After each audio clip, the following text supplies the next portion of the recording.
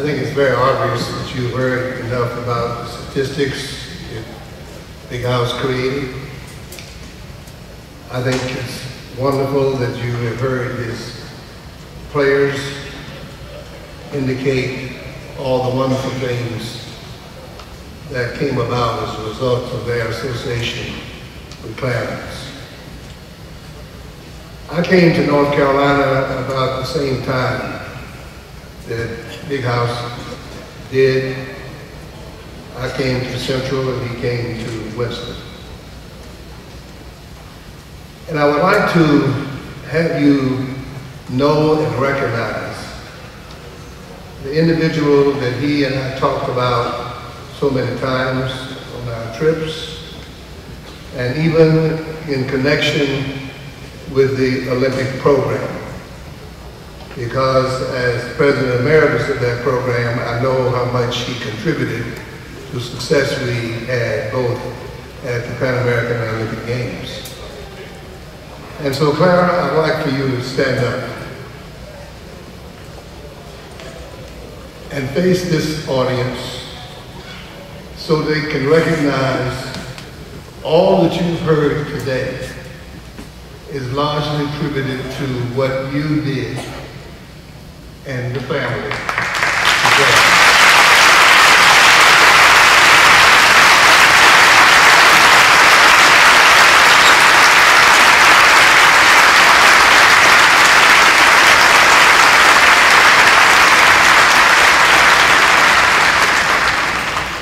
And I know you, you will read the book and the statistics, but on one occasion, Big House and I were at Harvard University, and we were listening to Conant, the president, who's an icon in the Ivy League.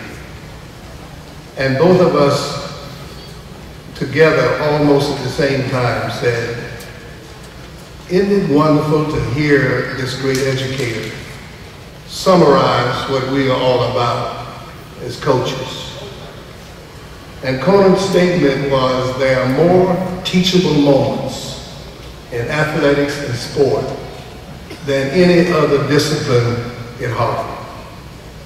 And I think that is true for the rest of the institutions.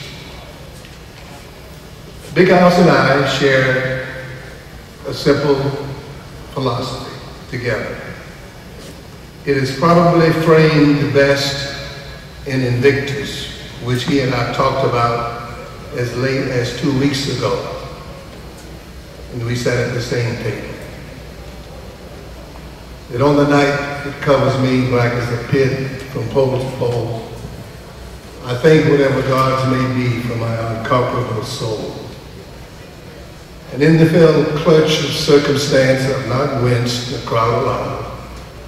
None of the bludgeoning of chance, my head is bloody, but I'm not.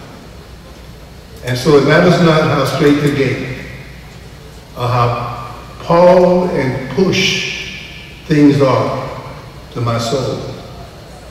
I will be the master of my fate.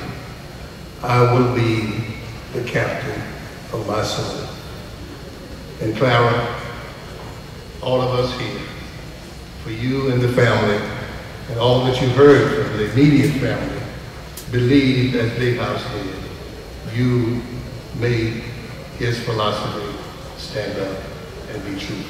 Thank you very much.